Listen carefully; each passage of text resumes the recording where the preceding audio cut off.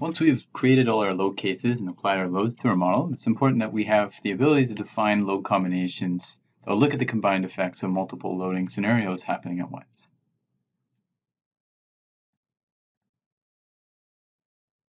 In this same model that we've been working with, we can go to the Loads menu.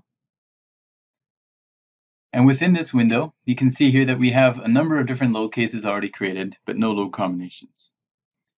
Now we have two different ways of creating load combinations. I can go to the Edit menu and then Load Combinations. And I'll create one load combination this way. By specifying the description of the combination, I'm just going to give it the name 1.25 dead plus 1.5 live. Those are just the factors of each load case that I'm referring to. We can choose to activate or inactivate certain load combinations. If we had a lot and we didn't need to analyze them all, this might save us time during the analysis.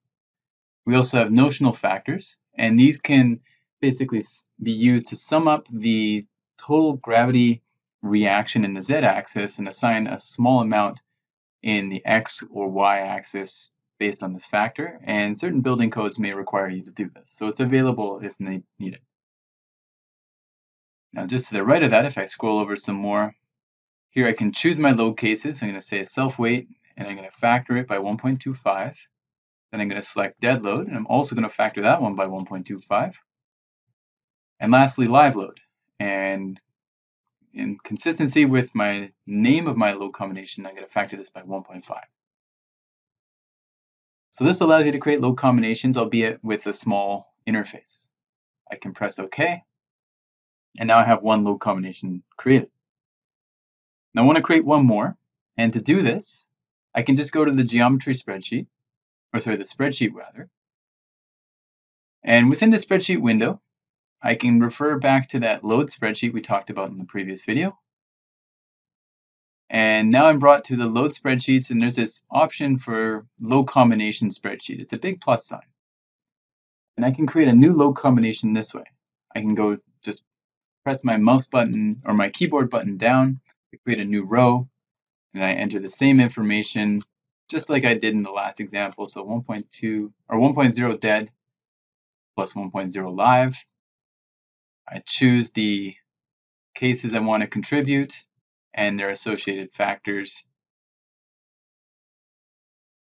And I'm all good to go. Now, if we had lots of load combinations, it may be tedious for us to enter this information every single way, or every single time rather. We can store this information in Excel and bring it in through Excel into this spreadsheet. There's also some load combination generators for certain building codes. So we can go, for example, with the NBCC building code and generate load cases and combinations this way. Another option is we can create a template PEL file, which doesn't have any geometry. All it has is load cases and combinations that are already created for us to our standards. We can then save that and import that into a model uh, by going to File Merge, something we'll look at in later videos, File Merge, and we'll be able to see how that can be brought into our model to speed up that process.